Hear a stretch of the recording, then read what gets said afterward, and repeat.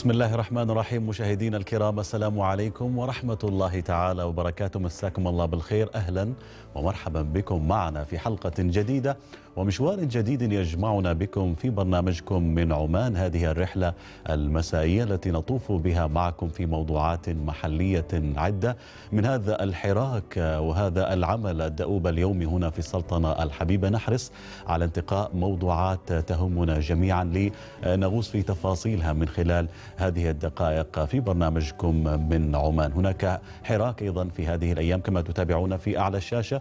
أربعة أيام تفصلنا عن انتخابات المجالس البلدية المقررة إن شاء الله يوم الخامس والعشرين من ديسمبر الحالي يوم الأحد إن شاء الله. انتخابات المجالس البلدية في جميع ولايات السلطنة. طبعا هناك تجهيزات كثيرة سواء من قبل وزارة الداخلية من قبل اللجان المختصة المعنية بالعملية الانتخابية. هناك أيضا حراك على مستوى أيضا الولايات فيما يتعلق بالمرشحين في التعريف بأنفسهم للناخبين الذين سيحددون من هم أعضاء المجالس البلدية في المرحلة القادمة في الفترة الثانية بمشيئة الله تعالى. هناك زخم إعلامي متواصل يتصاعد خلال هذه الأيام.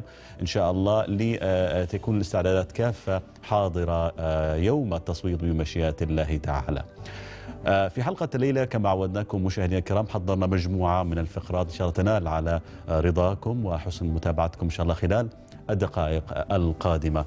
طبعا نتابع هذه الأيام الأيام الثقافية والتراثية التونسية التي تنظمها السفارة التونسية بالتعاون مع مؤسسة بيت الزبير التي بدأت في الخامس عشر من ديسمبر مستمرة إن شاء الله إلى يوم غد. وهناك أيضا فعاليات تستمر إلى ما بعد يوم غد. سنتحدث عنها بمشيئة الله تعالى. أنشطة متنوعة للتعريف بالموروث الثقافي والتراثي الغني للجمهورية التونسية الشقيقة. أيضا هناك جهود لدعم العلاقات الأخوية بين البلدين الشقيقين. ستكون لدينا فرصة إن شاء الله في حلقة الليلة للحديث عن الثقافة والتراث التونسي مع سعادة السفير التونسي في السلطنة والعلاقات في مجالاتها المتعددة بين السلطنة والجمهورية التونسية الشقيقة بمشيئة الله تعالى. أيضا من موضوعاتنا لحلقة الليلة مشاهدينا الكرام الحديث عن برنامج خزان لتنمية المؤسسات الصغيرة والمتوسطة في نسخته الثانية. هذا البرنامج الذي تنفذه مؤسسة شراكة بالتعاون مع شركة بيبي عمان وذلك بهدف طبعا دعم مشاريع المؤسسات الصغيرة والمتوسطة كأحد الأدوار التي تناط بمؤسسة شراكة في دعم المؤسسات الصغيرة والمتوسطة. سنقترب من الكثير من التفاصيل المتعلقة بهذا البرنامج وكيف يسهم في دعم هذا القطاع الحيوي الذي يعول عليه كثيرا في السنوات القادمة بمشيئة الله تعالى. أيضا أكيد تابعتم مشاهدينا الكرام بالأمس حفل تسليم جائزة السلطان قابوس للثقافة والفنون والآداب في دورتها الخامسة والتي خصصت للعمانيين هذه الدورة. وتابعنا أيضا تقديم وسام الاستحقاق للثقافة والعلوم والفنون والآداب للفائزين الثلاثة في مجالات الترجمة والفنون الشعبية والرواية.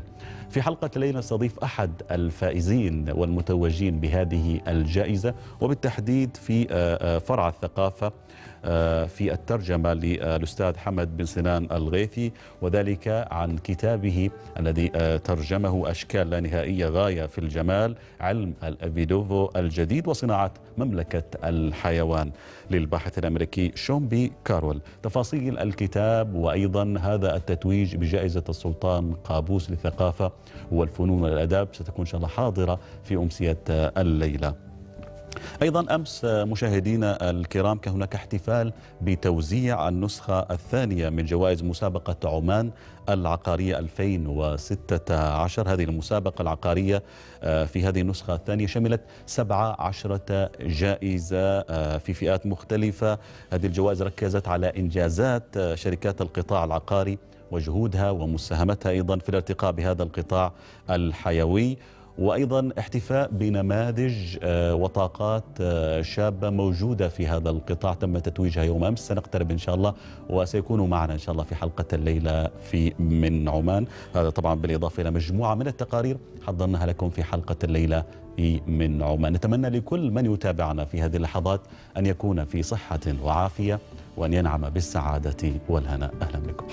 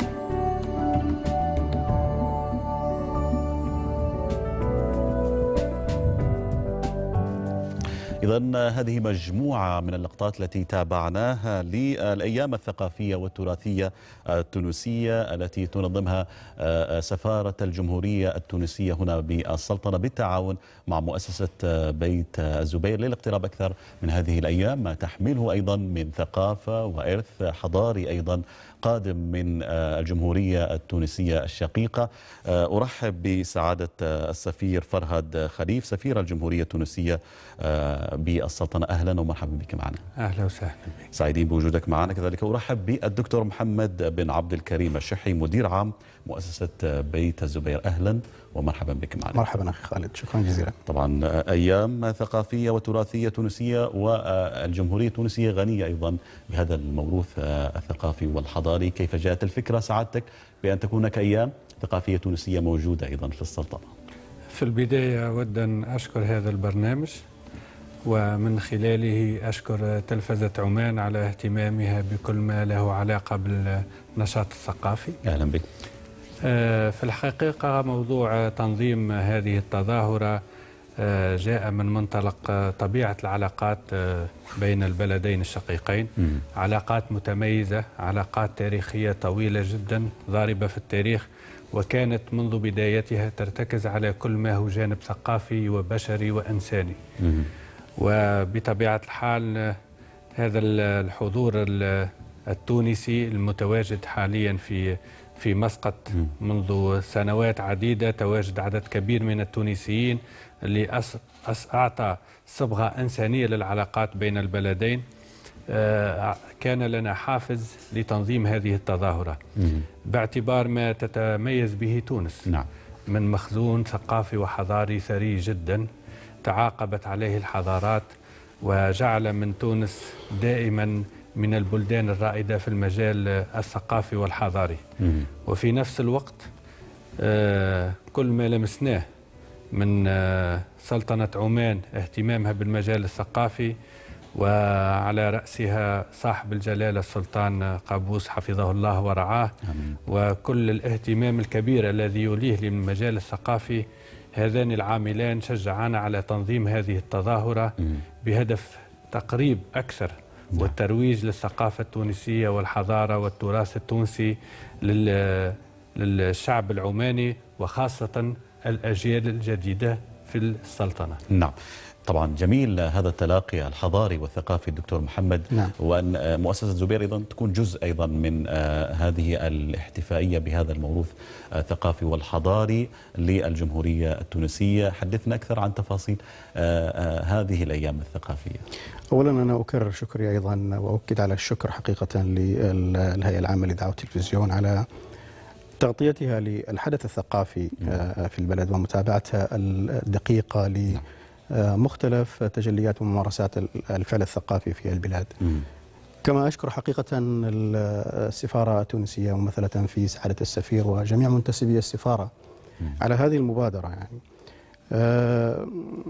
بالتأكيد أخي خالد هناك يعني يعني بيت الزبير هو كأي مؤسسة في هذه البلد يهمها دائما إثراء المشهد الثقافي العماني وإضافة بعد آخر لتعزيز حيوية هذا المشهد الثقافي العماني. بيت الزبير سعت لأن تكون هناك لإيجاد منصات ومناسبات لهذا التبادل الثقافي والاقتراب المعرفي من مختلف التجارب الإنسانية. أفقيا من حيث الاقتراب من يعني تجارب نظيرة إقليميا ودوليا وكونيا نعم. ورأسيا فيما يخص موضوع الثقافة بذاتها كموضوع معرفي بحاجة لأن يكون هناك معه تماس مباشر المؤسسة شاركت في الأسبوع الثقافي العماني قبل هذه الفعالية في صفاقس عاصمة الثقافة العربية. نعم طبعا شيء شيء يذكر أيضا صفاقس التونسية نعم. هي عاصمة الثقافة العربية 2016 نعم يعني قبل فترة بسيطة كانت كانت العديد من المؤسسات العمانية مشاركة بفاعلية في الأسبوع الثقافي العماني في تونس وكان بيت زبير من ضمن هذه المؤسسات العمانية المتواجدة في الحدث. واليوم نحتضن هذه الفعاليات مثل ما أسلفت يعني نعم. لزيادة الحيوية في القطاع الثقافي ولإيجاد فرصة للاقتراب من النخب يعني نعم. الثقافية. طيب أكيد أيضا من شارك في هذه الفعاليات من حضر أيضا إلى بيت الزبير اطلع نعم. على كثير من عناصر الثقافة والحضارة في الجمهورية التونسية، نعم. لكن سعادتك ممكن تعطينا ملامح هكذا عن ما يميز الثقافة ويعني في الجمهورية التونسية. هو في الحقيقة الميزة المشهد الثقافي في تونس هو. تنوعه وفي نفس الوقت تنوعه من حيث مصادره ومن حيث الأشكال نعم. التأثيرات كل الحضارات التي تعاقبت على تونس كان لها طابع م. على المشهد الثقافي بكل أشكاله سواء في الموسيقى أو في الفنون التشكيلية أو في الأدب أو في الشعر م. فكل هذه الأشكال الثقافية تأثرت بالحضارات التي مرت على تونس. نعم. وفي نفس الوقت تأثرت كثيرا بالمثقفين والمبدعين التونسيين على مدى التاريخ بتنقلاتهم سواء شمال أو شرق أو غرب أو جنوب. فهذا الكل أصبح جعل من الثقافة التونسية متنوعة قريبة جدا بطبيعة الحال التأثير العربي في نفس الوقت التأثير الأوروبي نعم بالضبط. في نفس الوقت التأثير الإفريقي. فهذا جعلها أن عندها ميزة أساسية هي ميزة التنوع. هي ميزة التنوع وميزة التأثير على المتلقي. لأنه في بطبيعة الحال كل إنسان له تعطش لأشكال مختلفة من الثقافة ولأشكال مختلفة من الفنون. وتنوع الثقافة في تونس جعلها نعم. قادرة وهذا حتى يمكن نلمسه في النتاج الثقافي التونسي هذا التنوع. وهذا ما نلمسه حاليا مثل ما تفضلت قلت أنه أصبح المنتوج الثقافي موجود على الساحة العربية بشكل كبير موجود على الساحة العالمية وفي عديد سواء المهرجانات الثقافية أو السينمائية تجد دائما الحضور التونسي والسنة الفارطة خلال جائزة صاحب الجلالة السلطان قابوس للثقافة والفنون الثقافة والفنون والآداب. كان الشرف لتونسيين نعم بالضبط للحصول على جائزة في مجال الأدب الطفل وفي مجال الثقافة. نعم. وهذا دليل على أنه المثقف التونسي نعم نعم. له دائما حضوره على الساحة العربية وعلى الساحة العالمية ممتاز طيب دكتور محمد حابين أيضا نقترب أكثر من هذه الأيام الثقافية نعم. ما الذي حملته وأيضا تحمله خلال الأيام القادمة إن شاء الله جميل سؤال مهم جدا فقط تأكيد وإشارة أيضا ل يعني حضور الاسم والأيقونات المعرفية الثقافية التونسية حتى نعم. في عمان عندنا يعني كما أسلف سعادة السفير وتفضل الدكتور عبد السلام المسدي هو من حصل على جائزة السلطان قابوس للثقافة في فرع الثقافة نعم. والدكتور محمد الغزي نعم. حصل على جائزة السلطان في فرع الآداب نعم. وكان حاضرا في الأيام الثقافية يعني هذه التونسية يعني الميزة والهدف هو أن تخلق هذه الفرصة للتبادل نعم الثقافي والحضاري قبل ذلك يعني في هذه اللحظة التي نتحدث فيها الآن أخي خالد يوجد هناك ليلة سينمائية في بيت الزبير. آه الليلة السينمائية التونسية بحضور مخرج من تونس وتعرض فيه أفلام سينمائية تونسية آه بحضور نقاد بحضور مهتمين عمانيين أيضا ومن تونس الشقيقة. نعم. الاسم التونسي السينمائي أيضا كان حاضرا في جوائز عمان بالمناسبة. نعم. في 2006 حصل المخرج ناصر خمير على جائزة المركز الأول في مهرجان مسقط السينمائي نعم. عن فيلمه بابا عزيز مم. فهناك حضور حقيقة ثقافي فاعل للثقافة أو الأسماء التونسية نعم. في اليوم الأول أخي خالد لهذا لهذه الأيام التي كانت طبعا تاريخ 15 15 نعم كانت برعاية صاحب السمو آه، سيد هيثم بن طارق وزير التراث والثقافة آل سعيد. وأيضا آه، برعاية مشتركة من آه، خميس الشيناو وزير الخارجية التونسي. مباشرة بعد الحفل يعني يعني إحدى فقرات الحفل كانت افتتاح معرض للفنانين التشكيليين التوانسة المقيمين هنا في عمان. وكذلك افتتاح معرض للكتاب التونسي في المقهى الثقافي في بيت الزبير. توقيع كتاب للباحثة والأكاديمية منيرة حجيج الدكتورة منيرة حجيج هي مم. كتبت كتاب جميل عن عمان في عيون الآخرين نعم. وتم توقيع هذا الكتاب مم. في اليوم الأول مم. بعد ذلك كانت الأيام كالتالي يعني يوم السبت كان هناك تقريب للثقافة يعني التراثية الغذائية والمطبخ التونسي كان آه، في آه، أروقة السفارة التونسية. نعم. يوم الأحد كانت هناك أمسية أدبية آه، تشرفنا فيها بحضور إلى بيت الزبير الدكتور والمفكر صلاح الدين بوجاه قدم مدخلا عن الأدب التونسي. ثم بعد ذلك أمسية شعرية لمحمد الغزي والشاعر الطرابلسي وغيره من الشعراء التوانسة المشاركين نعم يعني نعم. أيام ثقافية حافلة بالكثير نعم. من الأجندة نعم. الثقافية آه، التونسية نعم. آه، وأكيد من حضر يعني آه، نعم.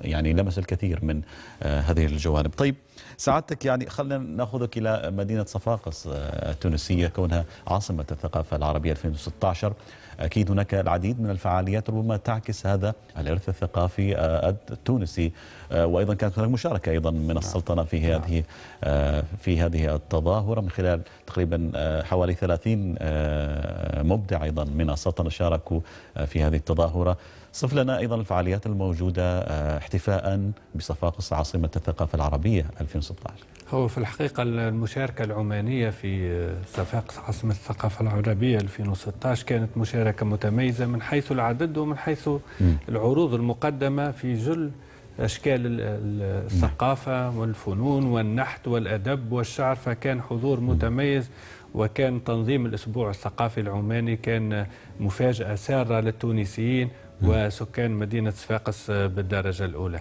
نعم. الفعاليات متنوعة منذ بداية التظاهرة آه، أخذت كل الأشكال الثقافية. م. والحضور كان العربي الحضور عربي متميز.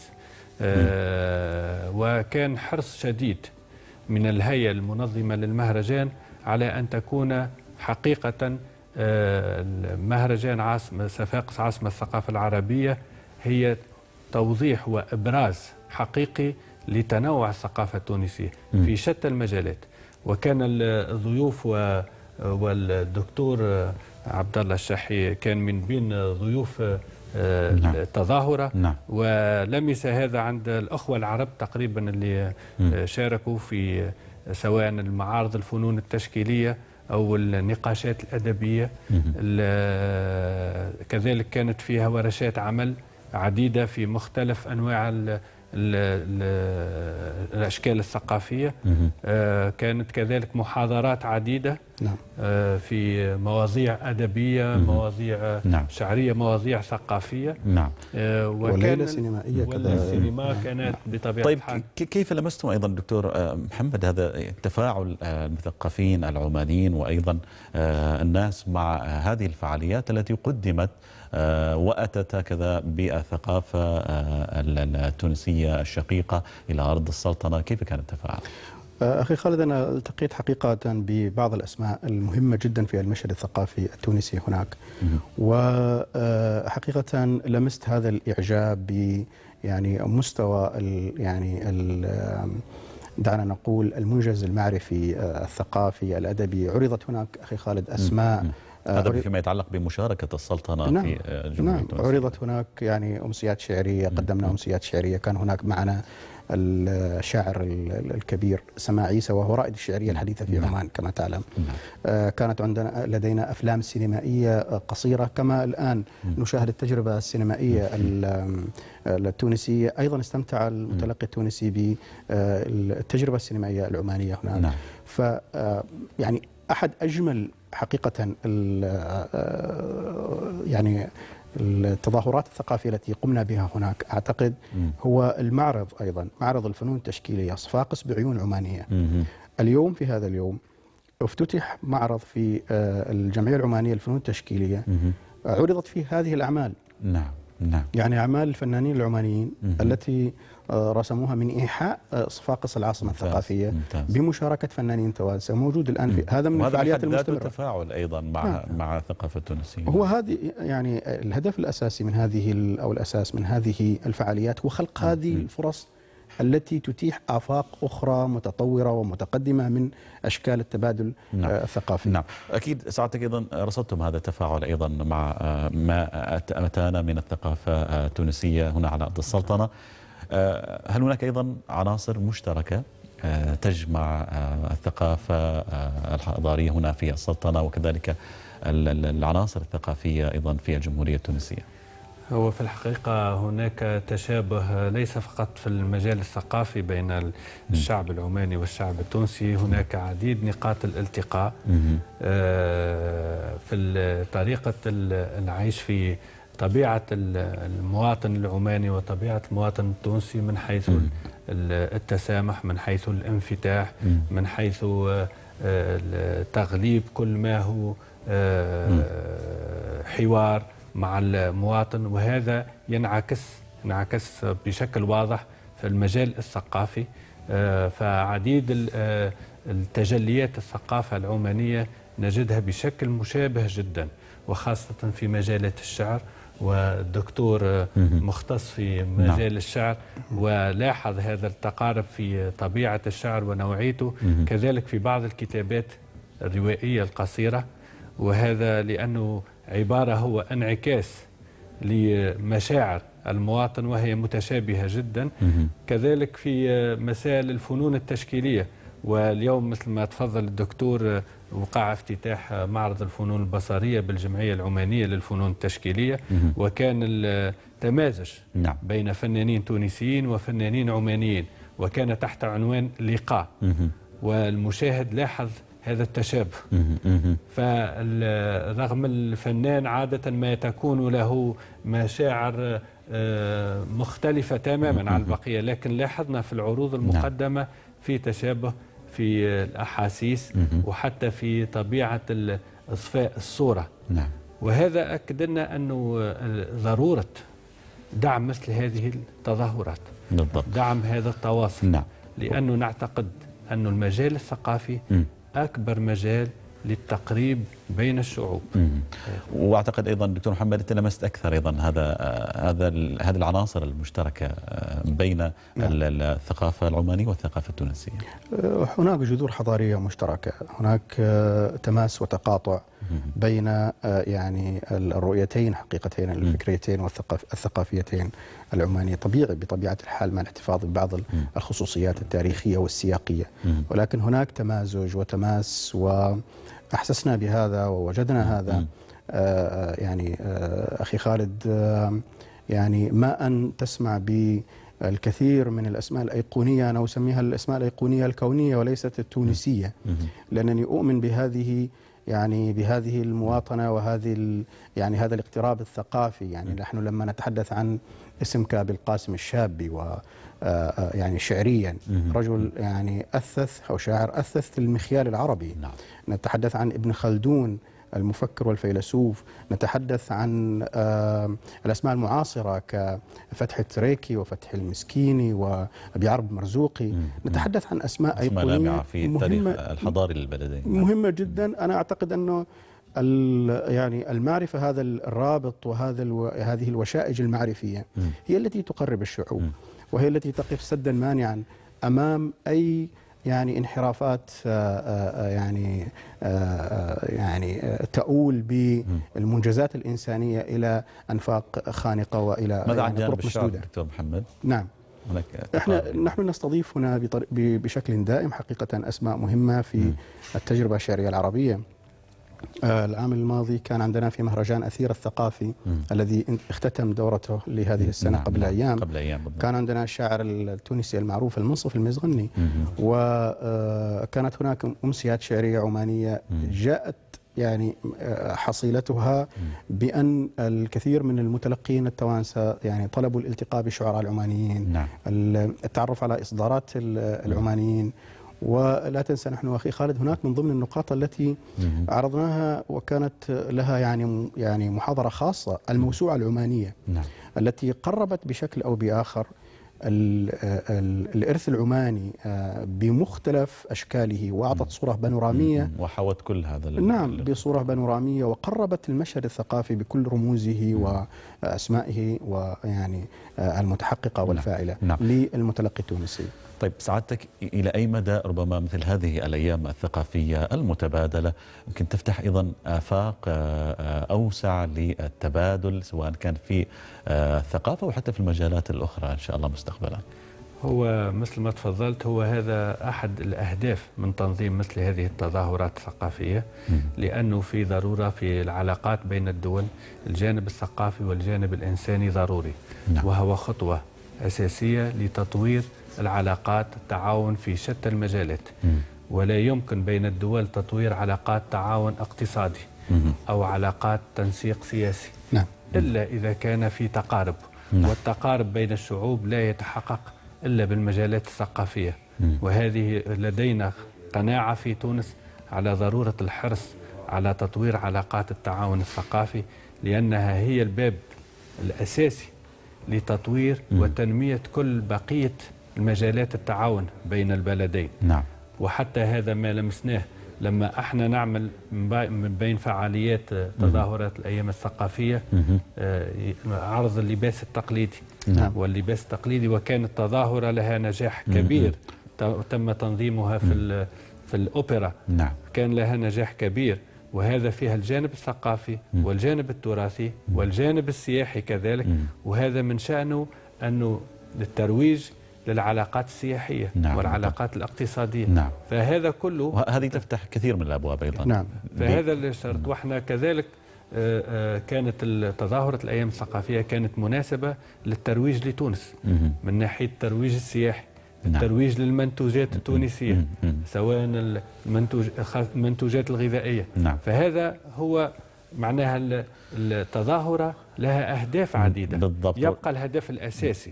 الهدف الأساسي هو مزيد دعم العلاقات البشرية بين نعم. الشعبين وكل ما كانت هذه العلاقات متميزة كل ما بقية مجالات التعاون إن شاء الله تكون متطورة وإن شاء نعم. الله تكون وقد تكون يعني مجال الثقافي هو المجال الواسع الذي تدخل منه هذه العلاقات إلى آفاق أرحب وأوسع إن شاء الله في السنوات القادمة. سعدنا بوجودكم معنا. شكرا جزيلا لك سعادة السفير فرهد خليف سفير الجمهورية التونسية الشقيقه في السلطنة. شكرا لك سعادتك على وجودك معنا. شكرا بارك الله فيك على هذه الاستضافة في هذا البرنامج الجميل والمفيد. شكرا جزيلا لك سعادتك. أيضا الشكر للدكتور محمد بن عبد الكريم الشحي مدير عام مؤسسة بيت زبير. أيضا الذين هم في تعاون لتنظيم هذه الأيام الثقافية والتراثية مع سفارة الجمهورية التونسية في شكرا, شكرا جزيلا أخي خالد وسنلتقي بإذن الله إن شاء الله في قادم الأيام. مع فعاليات ثقافية آه، تقيمها إن شاء الله المؤسسة. بمشيئة الله تعالى. إذا مشاهدينا الكرام نقف بعد قليل مع موجز لأهم الأنباء مع الزملاء هناك في قطاع الأخبار. ثم لدينا عودة لاستكمال ما تبقى من برنامج من عمان. ابقوا معنا.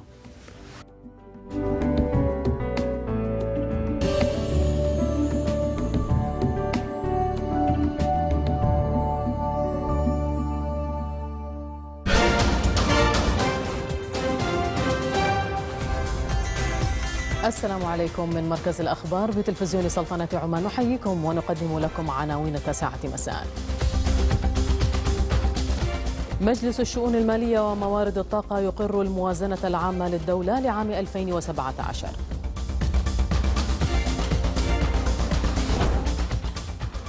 عدد من أعضاء القضاء والادعاء العسكري يؤدون اليمين القانونية أمام معالي الفريق أول وزير المكتب السلطاني. وزارة الخدمة المدنية تدشن مشروع التدريب العملي للموظفين الحكوميين في مؤسسات القطاع الخاص مطلع العام المقبل. شركة تنمية نفط عمان توقع اتفاقيات لتمويل مشاريع استثمار اجتماعي بمختلف محافظات السلطنة. شركة تنمية نفط عمان تكشف عن مشروع إمداد لتوفير خمسين ألف فرصة تدريب وتوظيف للعمانيين. المعارضة السورية تسيطر على جبل استراتيجي على مشارف مدينة الباب بريف حلب.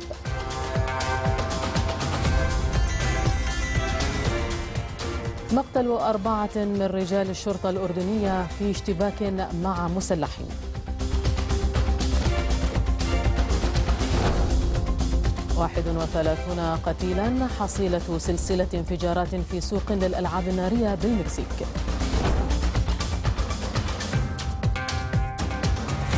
كانت هذه عناوين التاسعة مساء في تمام العاشرة مساء نوافيكم بالتفاصيل. شكرا لكم. إلى اللقاء.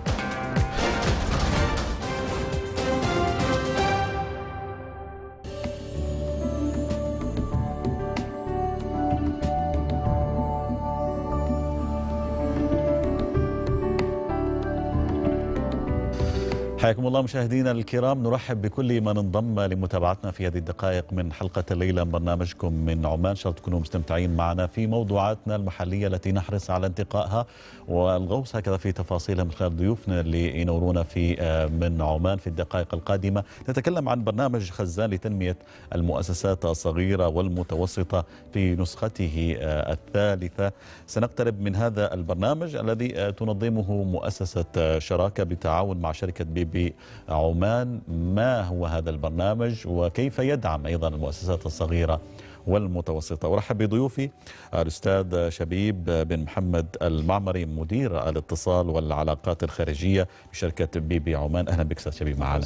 حياك الله. أيضا أرحب بالأستاذ عبد الله بن حمود القفيلي المدير العام لشراكة. أهلا ومرحبا بك أستاذ أهلا وسهلا.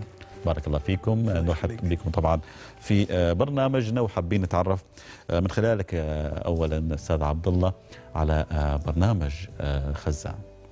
بسم الله الرحمن الرحيم. طبعا بداية شكرا لهذه الفرصة للتحدث عن البرنامج. برنامج خزان لتنمية المؤسسات الصغيرة والمتوسطة هو أحد برامج الاستثمار الاجتماعي التابع لشركة بي بي في السلطنه وهو معني بشكل خاص في تنمية المؤسسات الصغيرة المتوسطة من خلال برنامج متكامل لمدة 12 شهر آه نتم من خلال هذا البرنامج تقييم أداء 20 مشروع آه من مختلف مناطق السلطنة لمعرفة آه نقاط القوة وجوانب التحسين في هذه المشروعات ومن ثم تحديد خطة متكاملة لمدة 12 شهر لتحسين أداء هذه المؤسسات نعم. طبعا نطمح أن هذه المؤسسات خلال هذه الفترة أن هي ترتقي بجودة الخدمات اللي عندها وترتقي بجودة المنتجات اللي عندها وأيضا آليات العمل في هذه المؤسسات. نعم. طبعا سنأتي إلى تفاصيل هذا البرنامج. آه ذكرت كذا لمحة عامة عن هذا البرنامج لكن أيضا حابين نتعرف على هذه الشراكة من قبل آه شركة بي بي عمان في الاستثمار الاجتماعي أيضا في تبني هكذا برامج. نعم.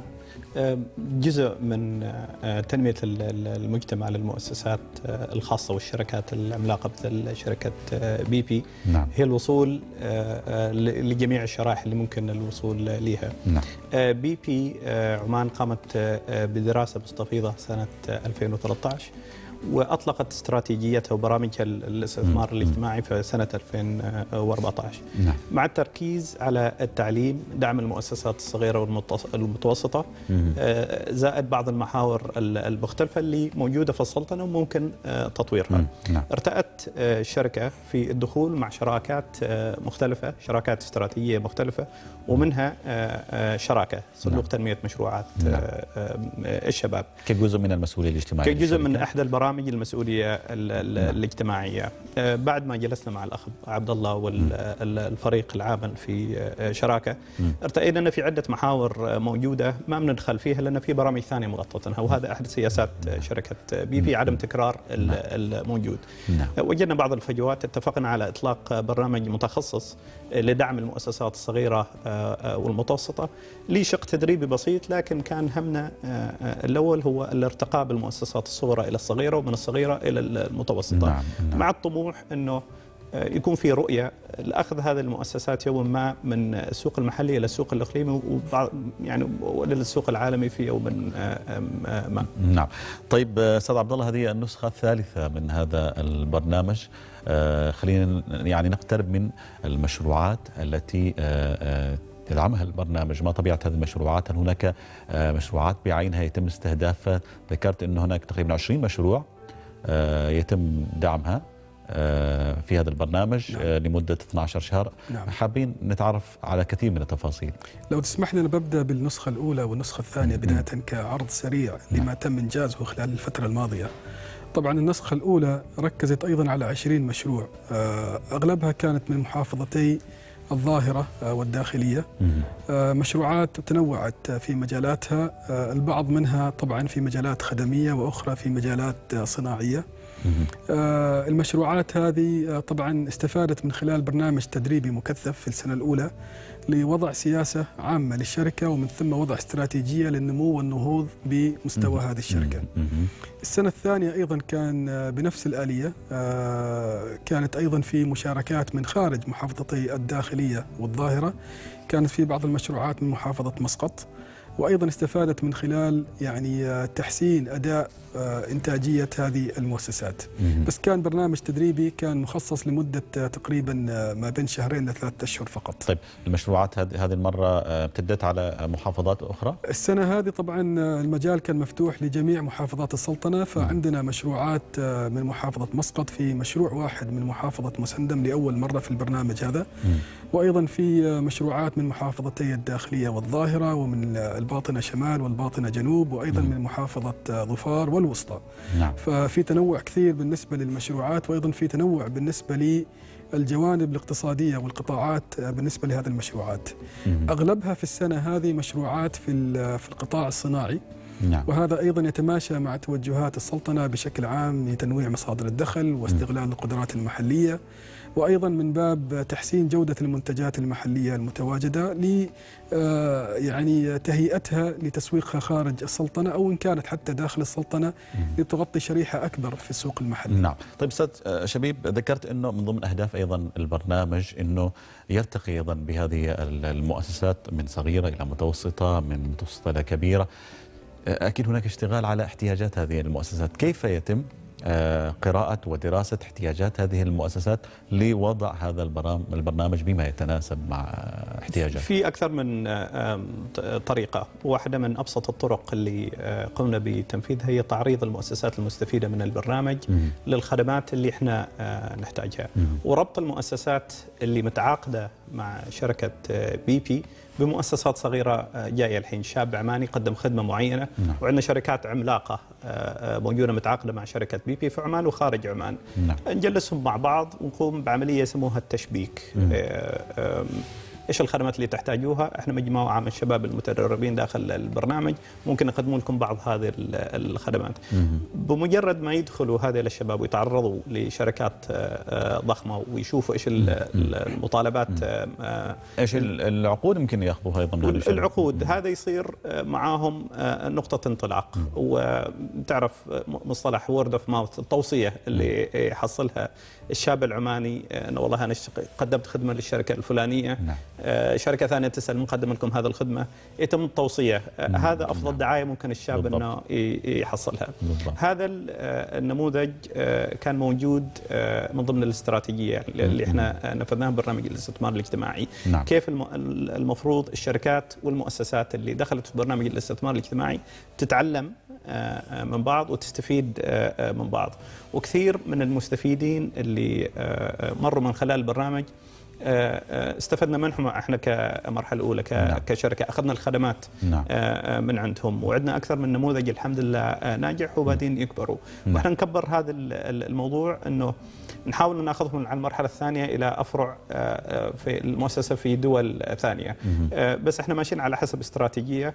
نقيم المشروع بشكل سنوي. هذا. نسخته الثالثة متحمسين لها كثير. نعم. اتطور من مجرد برنامج طوله ثلاث شهور إلى سنة كاملة. متحمسين كثير إن نشوف نتائج هذا السنة راح تعكس على السنة الرابعة.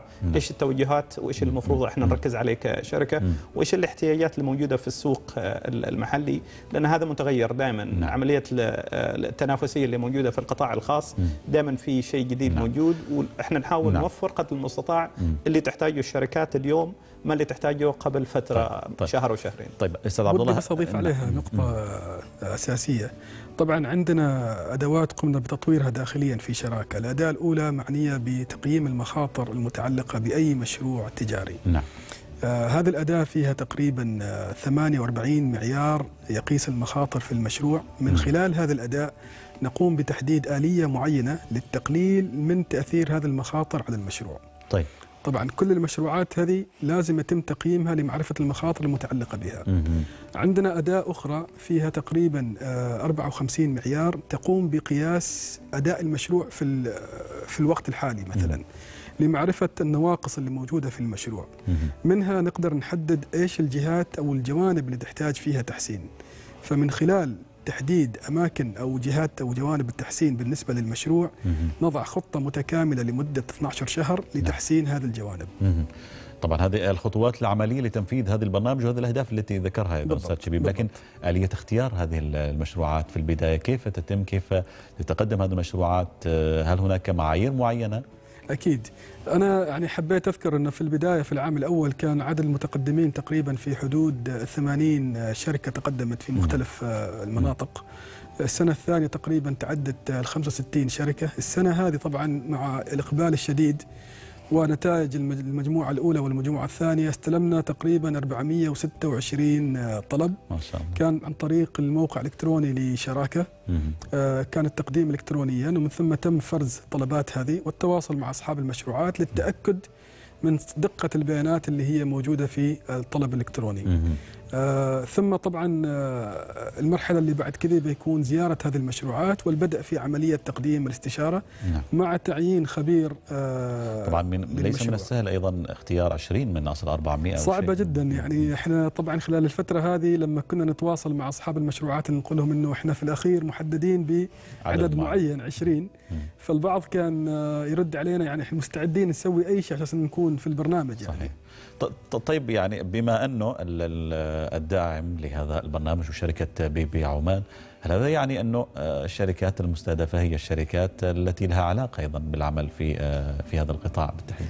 هي مش بالضرورة يعني هم طبعا مستهدفين جميع القطاعات مثل ما ذكرنا آه، فما بالضرورة أن القطاعات هذه تكون تخدم شركة آه، بي بي ولكن إن كانت في بعض المؤسسات تخدم الخدمات اللي تحتاجها شركة بي بي فهذا يكون داعم إضافي لها بحيث أن هي يمكن تندرج من ضمن المؤسسات اللي ممكن مستقبلا تقدم خدمات لشركة بي بي ولكن هو يعني مش أنه شرط أساسي أنها تكون يعني من ضمن الشركات المدرجة في نعم. شركة بي بي نعم إقبال ال- ال- المشاريع أيضا على آه، هذا البرنامج أكيد حافز أيضا للاستمرارية ولتجويد البرنامج خلال الدورات القادمة آه، أستاذ شبيب. من ضمن استراتيجية ال- الشركة أيضا خالد آه، هو الجلوس مع الشركاء آه، ودائما بحث وتطوير آه، آه، وتجويد ال- ال- المنتج.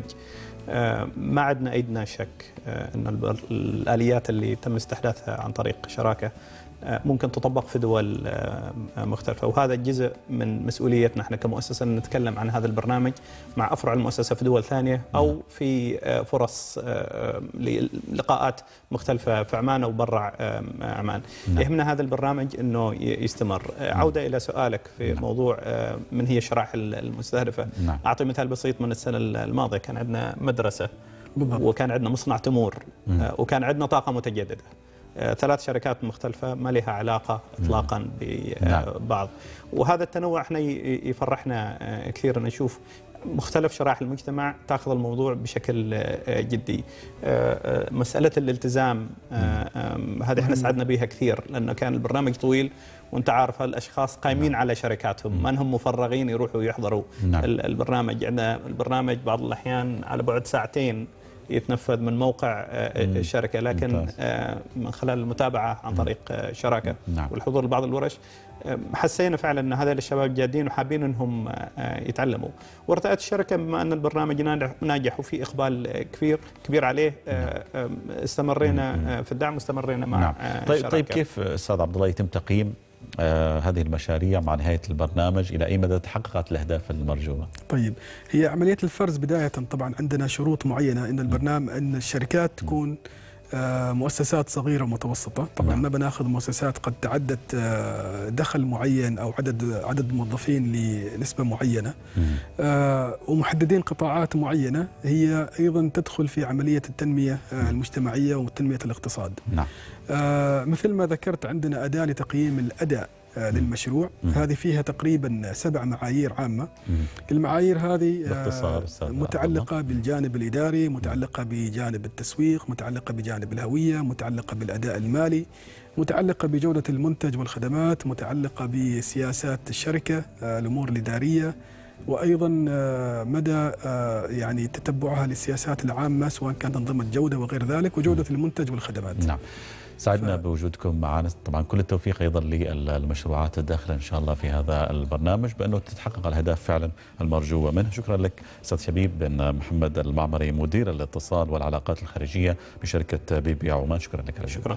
كذلك شكر الأستاذ عبد الله بن حمود القفيلي المدير العام لشراكة. شكرا. شاكرين لكم. اذا مشاهدينا الكرام فاصل قصير ثم لدينا عودة. ابقوا معنا.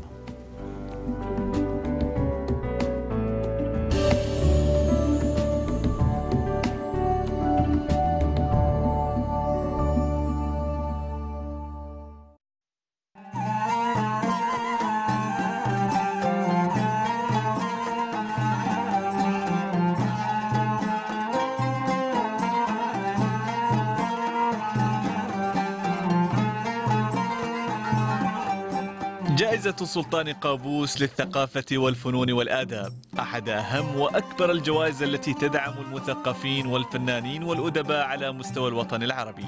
وتؤكد الدور التاريخي الذي تقوم به السلطنة في ترسيخ الوعي الثقافي وغرس القيم والأصالة العربية. بتكليف من المقام السامي لحضرة صاحب الجلالة السلطان قابوس بن سعيد المعظم حفظه الله ورعاه. سلمت معالي الدكتورة مديحة بنت أحمد الشيبانية جائزة السلطان قابوس للثقافة والفنون والآداب في دورتها الخامسة للفائزين والتي خصصت للعمانيين.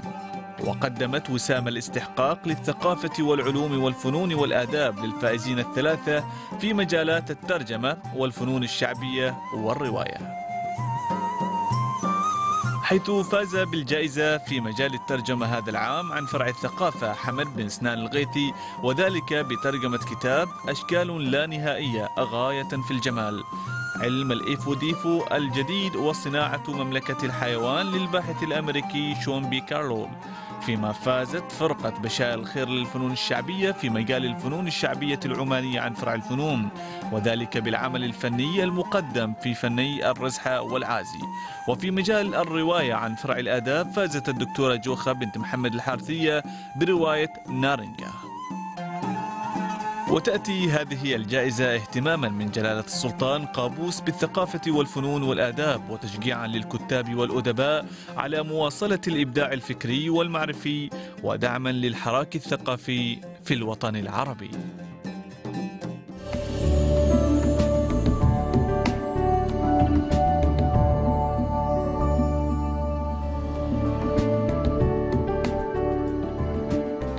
حياكم الله مشاهدينا الكرام. من جديد في من عمان. اذا تابعنا هذا التقرير الذي لخص لنا حفل يوم أمس لتسليم جائزة أو جوائز سلطان قابوس للثقافة والفنون والاداب للمتوجين بها في المجالات الثلاثة. معنا الآن في الاستوديو أحد هؤلاء المتوجين وهو الأستاذ حمد بن سنان الغيثي المتوج في فرع الترجمة فرع الثقافة طبعا. آه نبارك لك أستاذ حمد واهلا ومرحبا بك معنا. شكرا جزيلا أستاذ خالد طبعا آه كتاب أشكال لا نهائية غاية في آه الجمال لشومبي كارول. آه هذه الترجمة التي حازت على هذه الجائزة تستحق طبعا بعد كل هذا العمل آه المضني في ترجمة هذا الكتاب.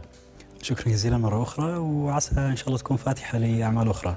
حدثنا عن آه هذا آه التتويج بجائزة السلطان قابوس آه للثقافة والفنون والآداب كتتويج لهذا الجهد كاعتراف أيضا بقيمة هذا الكتاب الذي اشتغلتم. وهذه الترجمة التي تثري أيضا المكتبات العربية بهذا النوع من العلوم. الخبر كان جدا مفرح الجائزة جدا رفيعة على مستوى الوطن العربي. م. في دورتها الحالية مخصصة للعمانيين. كانت في كتب كثير مترجمة متعددة م. على مستوى جيد. الحمد لله يعني توفقنا في في الجائزة. الترجمة كانت عمل مشترك بيني وبين الأستاذ المهندس عبد الله المعمري. كل التحية طبعا للمهندس عبد الله المعمري وطبعا أكيد هناك جهد كبير أيضا قمتم به في ترجمة هذا الكتاب. خلينا نقترب منه من طبيعة هذا الكتاب أشكال لا نهائية غاية في الجمال ومناقشته لموضوع مملكة الحيوان وهذه الكائنات الحية. الكتاب يتحدث عن تطور ونشوء مملكة الحيوان منذ ما قبل 530 مليون سنة أي منذ العصر الكامبري. يركز على مرحلة النمو نمو نمو الأجنة الحيوانات. نظرية الكتاب وهي نظرية سائدة حاليا في ال في ال في العقود الاثنان أو ثلاثة الماضية. هي أن التطور يحدث تطور الأنواع الجديدة تحدث عبر حدوث تغيرات في نمو الأجنة. فعلم الإيفو ديفو معني بدراسة نمو الأجنة في أنواع مختلفة أي مقارنة النمو في الحيوانات المختلفة وبالتالي استخلاص القوانين التي تحكم التطور. نعم. طبعا هذا من صميم أيضا تخصصك أستاذ حمد.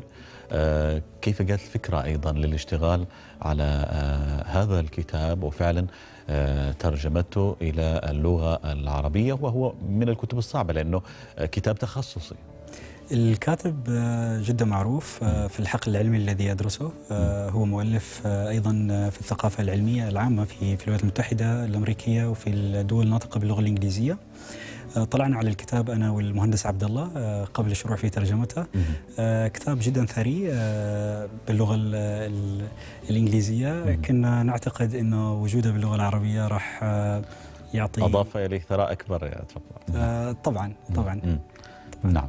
طيب ترجمة مثل هذه الكتب العلمية إلى أي مدى؟ هو تحدي فعلا أنه ترجمة ربما كتاب أدبي إلى اللغة العربية. هنا ترجمة كتاب أجنبي يحمل مادة أدبية عميقة ومتخصصة جدا. هل واجهتوا تحديات؟ تحديات كانت كثيرة. على مستوى النص المترجم كان في تحدي كبير بخصوص المصطلحات العلمية التي لا توجد باللغة العربية. نعم. استغرقنا جزء كبير من وقت الترجمة في إيجاد مصطلحات عربية. مكافئة تنقل المعنى المراد به المعنى الاصطلاحي باللغة الإنجليزية إلى اللغة العربية. وأيضا تكون هذه المصطلحات مألوفة للقارئ العربي. غري مش غريبة مش مقعرة سلسة. يمكن تذكرها حتى بعد قراءة الكتاب. الهدف هو إضافة رؤية جديدة للقارئ العربي لما يشوف الحيوانات في في الطبيعة. نعم. يقدر يشوف السمات العامة اللي تربط الحيوانات بحيث أنه يراها حيوان واحد بأشكال مختلفة وليس مجموعة مختلفة من الحيوانات بدون أي ربط. نعم. إلى أي مدى هذا الكتاب أيضا يدعم فكرة النمو والتطور في الحيوانات؟ هي العلم الأحياء الحديث قائم على هذه النظرية نظرية داروين نظرية النشوء والارتقاء. الكتاب يمثل الدفعة الأخيرة من الاكتشافات العلمية والبناء النظري الجديد في في نظرية التطور. الكتاب يدل يقدم المواضع الموجودة في المادة الوراثية للحيوانات التي إن تغيرت تغير شكل الحيوان. فباختصار إذا غيرت الموقع آه آه ترى تغيرات آه في أطراف الحيوانات مثلا ترى جناح خفاش أو ترى زعانف سمكة أو ترى أرجل ضفدع أو يد إنسان. طيب من خلال تصفح الكتاب وجدنا أنكم أيضا وضعتوا قاموس لكثير من المصطلحات اشتغلتوا عليها وعربتوها. يعني أعتقد أنه هذا مجهود بحد ذاته كبير أيضا. آه كان مجهود آه ضخم آه اشتغلنا عليه أنا وعبد الله من بلدين مختلفين تماما. اطلعنا على قواميس ومعاجم مختلفة سواء باللغة العربية أو باللغة الإنجليزية أو حتى بلغات أوروبية حديثة أو قديمة مثل اللاتينية. طبعا من أجل تلخيص خلقنا أو وضعنا جداول طويلة جدا بالمصطلحات والمفردات التي استخدمناها في الكتاب وجزء منها طبعا نحتناه للمرة الأولى م. ونتمنى أن تلقى هذه المصطلحات والمفردات رواجا لدى القارئ العربي بحيث يعاد استخدامها في الكتب والترجمات القادمة نعم طيب يعني أستاذ حمد برأيك الشخصي ما الذي ميز أشكال لا نهائية غاية في الجمال عن بقية الترجمات حتى يتوج بهذه الجائزة؟ سؤال صعب يعني موجه لي أنا. نعم. آه تحديدا. لكن أعتقد الموضوع المطروق آه ترجمة علمية آه العلم التجريبي في مجال الأحياء. أعتقد الثقافة العربية تحتاج إلى إلى مثل هذه المواضيع. وهي مش هي مش جرد الحقائق. ماذا حدث ل لمملكة الحيوان خلال هذه الرحلة الطويلة من التطور؟ الفكرة هي المنهج العلمي في استقراء الطبيعة في استقراء التاريخ وأيضا في تحديد الإشكاليات، ما هي الإشكاليات التي تستحق أن يبحث فيها؟ ما هي المشكلة؟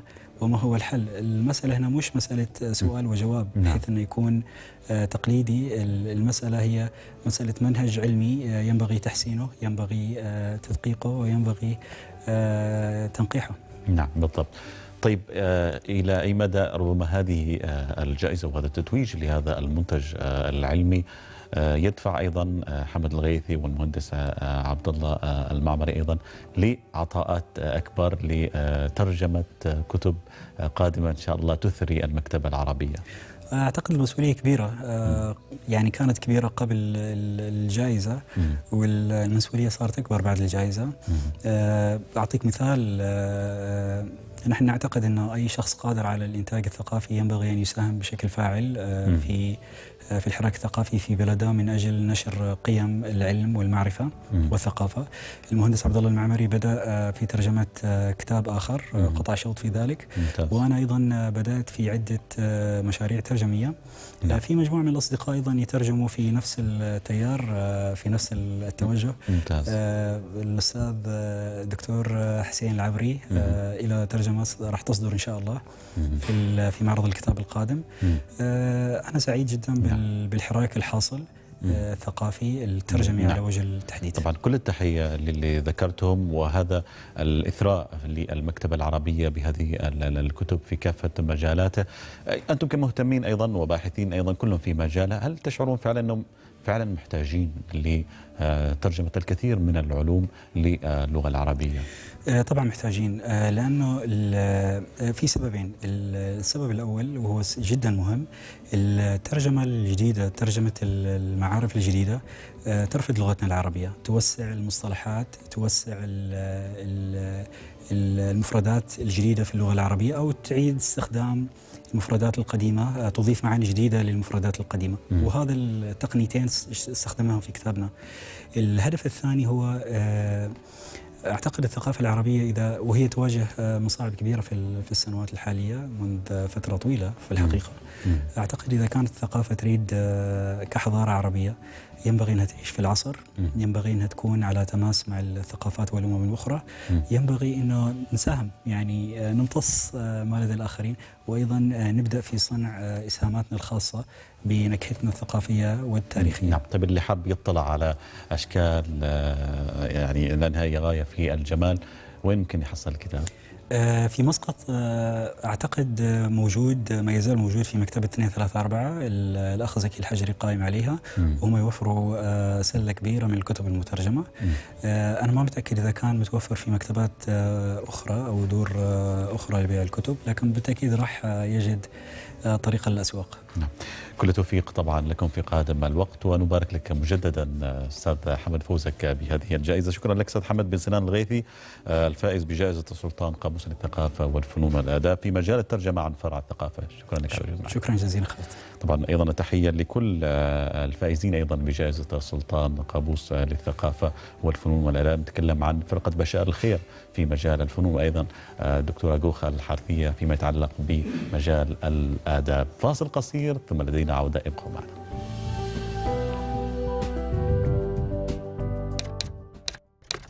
بضعة أعوام مضت من عمر النهضة المباركة والشعب يحتفل في كل مناسبة وطنية بقائد وعد بشروق شمس جديدة على وطننا وهو القائل سأعمل بأسرع ما يمكن بجعلكم تعيشون سعداء لمستقبل عاش عاش عاش حبيب الشعب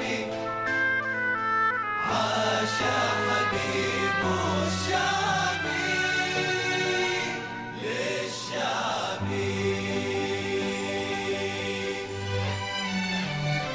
عاش حبيب الشعب للشعب بربه محروس. جميعنا ندعوك يا ربي. احفظ لنا قابوس. عاش حبيب الشعب للشعب. بربه محروس. جميعنا ندعوك يا ربي. احفظ لنا قابوس. يا فرحة عمت أراضينا. ونور العيد ليالينا. عماننا بالورد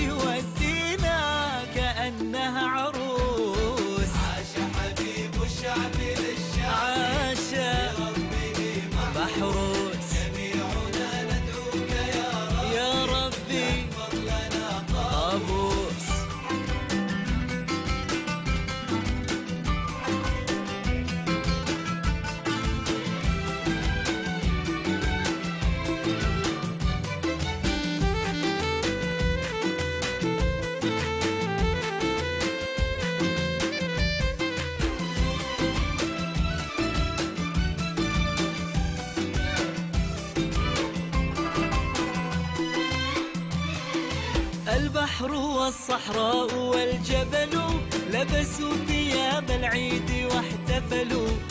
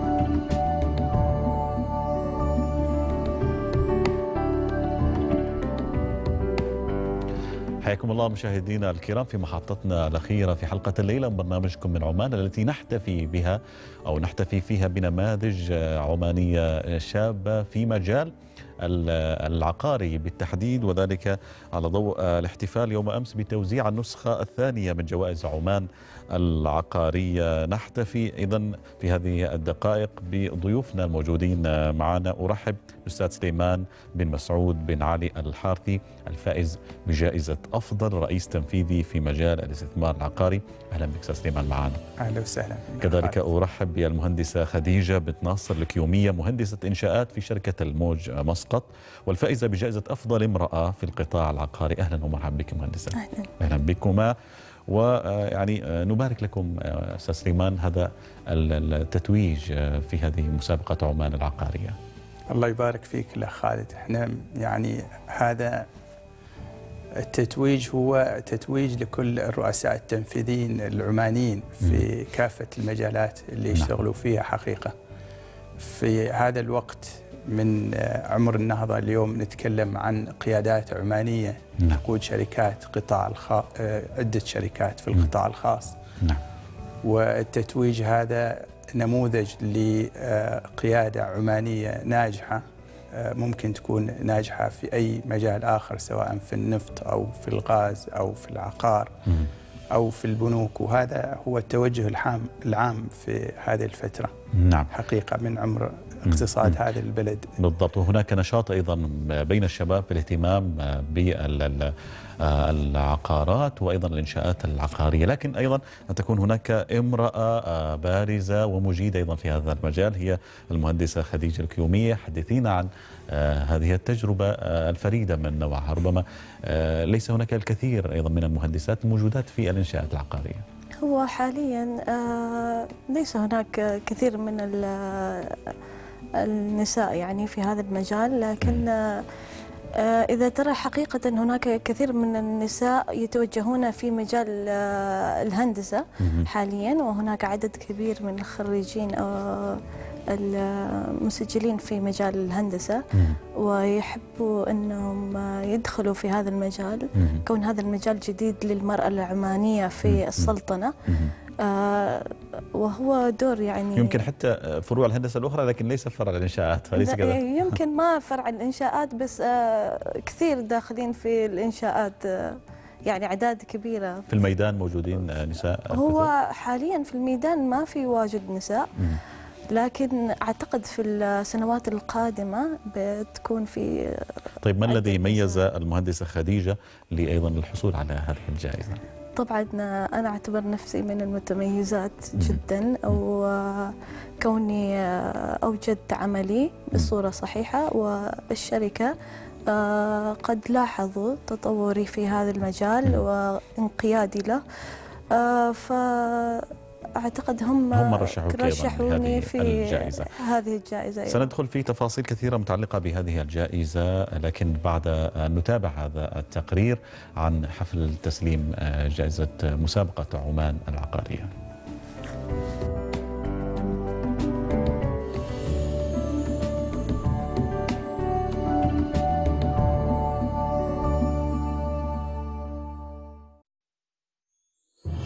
سعيا منها لتطوير القطاع العقاري في السلطنة والارتقاء بالشركات العاملة فيه. احتفلت جمعية عمان العقارية بفندق جراند ميلينيوم مسقط بتوزيع النسخة الثانية من جوائز عمان العقارية. هذه الجوائز التي تركز على إنجازات شركات القطاع العقاري وجهودها ومساهماتها في النهوض بهذا القطاع الحيوي. كما توفر المنافسة فيها منصة محلية تعريفية بالشركات والمساهمات المقدمة من قبل الاختصاصيين والمطورين والمعماريين والمخططين والوسطاء العقاريين والمستثمرين والاستشاريين المتخصصين في العقارات والهيئات الحكومية حول إنشاء مشاريع متميزة ذات جودة عالية. حيث شملت الجائزة في نسختها الحالية 17 جائزة في فئات مختلفة وهي فئة المطورين وفئة إدارة العقارات والوساطة العقارية وفئة الجوائز ذات الطبيعة الخاصة وفئة الجوائز الخاصة بالأفراد وفئة الجوائز الحكومية. طبعا الجمعية العقارية العمانية اليوم سعيدة حقيقة بتتويج الفائزين بالنسخة الثانية من جوائز عمان العقارية. 2016 ميلادي. هذه الفعالية طبعا بدأت من العام المنصرم وهذه النسخة الثانية. والمشاركة في هذا العام يعني ارتفعت بنسبة جيدة مقارنة مع العام المنصرم. شركات مختلفة من مستويات مختلفة شاركت في الفئات الأربع للجوائز. شركات التطوير شركات الوساطة والإدارة جوائز فردية وكذلك هناك تم استحداث جوائز حكومية. جوائز عمان العقارية بكل تأكيد ستعمل على خلق نوع من التنافسية بين الشركات لتقديم الجديد والأفضل وإضافة قيمة مضافة للخدمات. لا سيما أن هذا التنافس سيساهم في إيجاد جاذبية أكبر للقطاع العقاري العماني.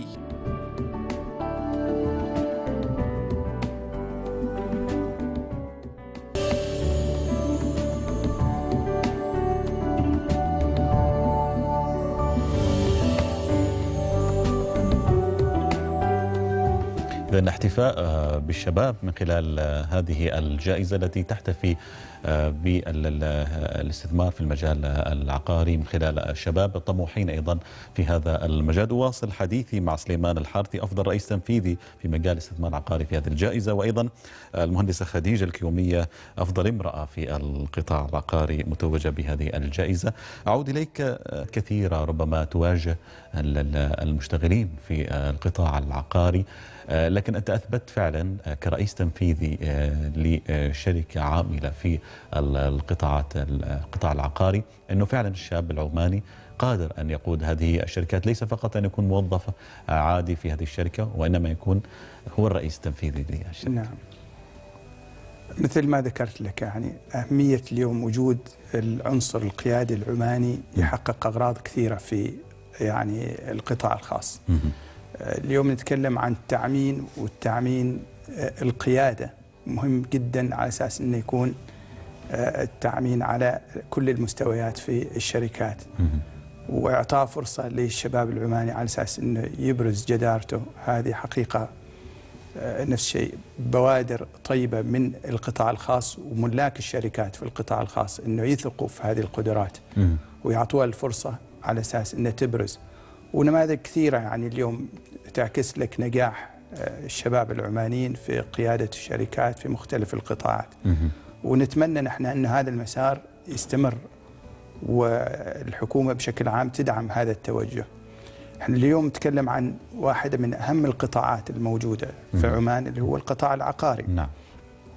الأرقام اللي نتكلم عنها في مساهمة هذا القطاع أرقام كبيرة. نتكلم عن العام الماضي حجم تداول في حدود 5 مليار ريال عماني.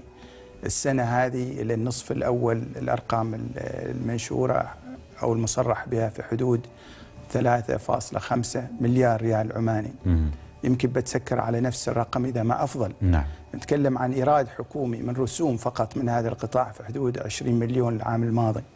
فهذه أرقام ترجم نفسها بأهمية هذا القطاع وأهمية تنظيمه. نعم. فالجمعية العقارية قامت بدور كبير في تمكين هذا القطاع بشكل عام. نعم.